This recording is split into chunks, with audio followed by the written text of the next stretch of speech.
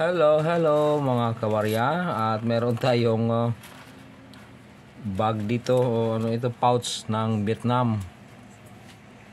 Sana may Vietnam coins. Iwan to sa anak ko to eh, napangit. Ano ito?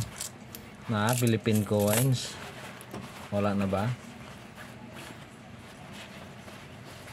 Ano to? Pera, papel, papel lang. Ano ba to? Ah, palpak to. Ano to? May anting-anting pa ito nakadikit dito. Ano tong anak ko? Parang bugs. Wala naman. Sabi may laman. Fail. Fail pack, fail pack. Palpak. So, meron tayo dito. Ano to? Philippine coins, NGC, GC. Palpak pala. Kala kong ano, sabi niya, mo yung anak ko na maganda. Sabihin ko, anak ko na pangit. Tatawa-tawa pa. Fail. Ano ba ito? Oh, nakachamba tayo. Tabi ko to.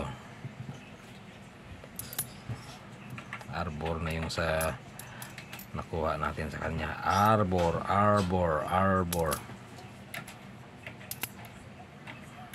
Yan ayusin muna natin para hindi tayo maguluhan.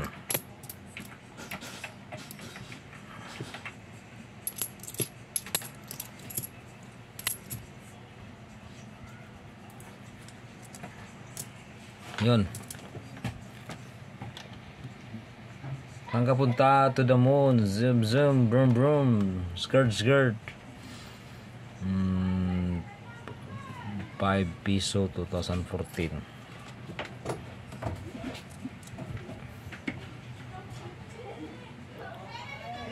Piso 2019. Daming 2019 yata o 2018 na variety ng NGC na piso 2019 pero mataas yung value ng 2019 then 2019 ulit. Da, dati rati pinakamarami 2018 ngayon 2019 pero hindi na sila nag-issue ng piso uh, na 2020 yata 2019 lang.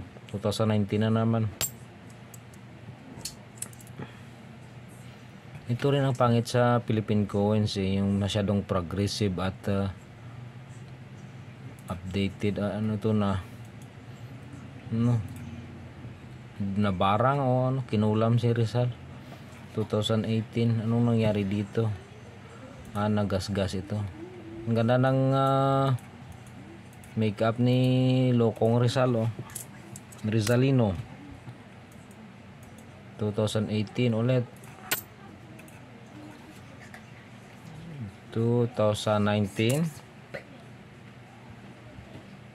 2018 tapos ito mga zebra danyo legend lang nakakalam ng word na zebra danyo tapos Indian molly uh, erator. Legend lang nakakaalam niya ng word na yan back tayo 2010 na piso. Next 2011 na piso. Common mo yan. 2012 common yan 13 piso 1995 medyo maganda pa kaso medyo marumi lang siya. 1995 year 2000 uh, 2007 2011 at eto yung tinabi natin. Ano ito guys? Uh, Frost na 2003 dagdag sa collection Frost 2003 yan. Ganda no? Magnetic ito siya. Kasi alam ko ah. Oh, magnetic. Magnetic. Sa mga nagtatanong about sa magnet ko ito ay kinuha ko sa sirang uh, hard drive HDD o hard disk drive ng computer okay? So, hindi kayo makakita nito unless meron kayong sirang hard drive. At mahirap mag-baklas. Uh, Yan.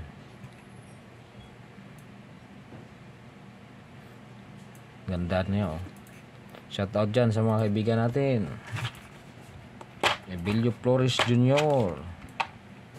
Tabi ko na tong Frost 2003 Frost. Lagay na natin dito. Dagdag sa koleksyon. Kasi hindi naman basta-basta tayo nakakakita nito eh.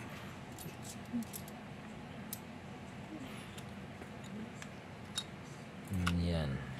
Nice. Then, last but not the least, ay meron tayong uh, 20 pesos na year 2020. 2020 siya guys. Uh, 2020. Next. 20 pesos na ano 2020 akala ko 2021 na 20 pesos na year 2020 din siya. So tatlong 2020 lahat ng ito. Then for the extra ano yung uh, coin natin of the day?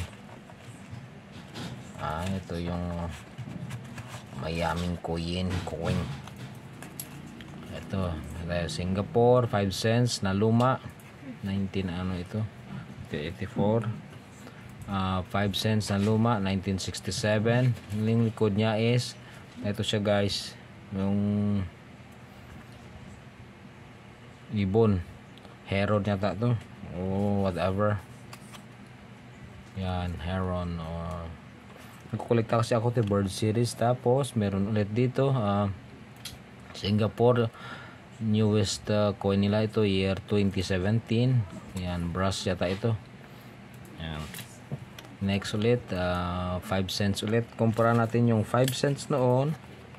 Yan 5 cents na luma noon 1984 sa 5 cents ngayon. So medyo maganda yung kulay pero kung sa akin kung design mas maganda pa rin ito. Yung Singapore shout out pala kay Bilio Flores dyan kung sa about sa design sa Singapore tapos sa uh, New Zealand yung Kiwi Coins New Zealand pare-pareho sila mga ibon. Next ito fern naman ito fern ito. Year 2001 na 5 cents din siya. Singapore 5 cents. Fern ito fern. Yan ito siya oh. Fern o whatever orchids ganon din 5 din. Pare-pareho ito. Pare-pareho. Ang dami nito pare-pareho. Pare-pareho. Then meron tayo dito ano 10 cents na luma ng Singapore. Ito yung seahorse yata ito ang pagkakaalam ko eh. Yan o seahorse nga siya. Yan. Seahorse ito. Mas maganda ang design on Then 1982 na 10 cents din siya, seahorse din siya. Nasunog yata ito eh. Lumitim. So, mga sobrahan ng patina.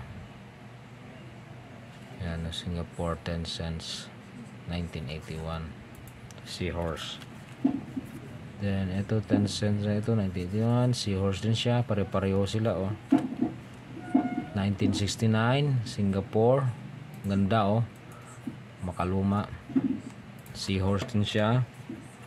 Ito baka bago ito. 10 cents ng Singapore year 2003 ano lang ito uh, orchids siya to orchids.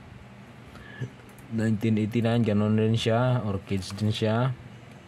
Tapos may national uh, ano seal nila ito. 1989 10 cents